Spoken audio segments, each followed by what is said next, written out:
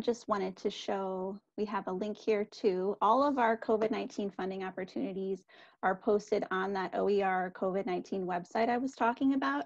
And as you kind of mentioned, Michelle, there are some specific requirements and tracking pieces in place for those COVID-19 mm-hmm. um, emergency appropriations. And so all that information can be found in those funding opportunity announcements. So like you mentioned, the separate document numbers and PMS, which require a little bit of different reporting because they have to do a separate FFR for those.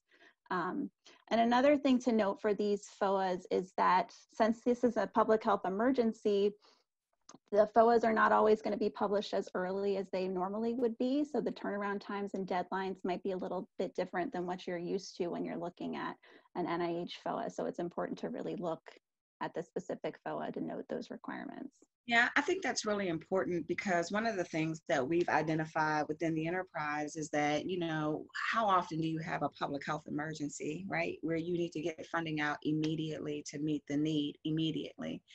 Um, and so for us, there are time there have been times where we've had to get uh, FOAs out in an expeditious manner but I want to make sure that even when you see a FOA that may be out and you see a notice of correction, please pay attention to the notices of correction as well.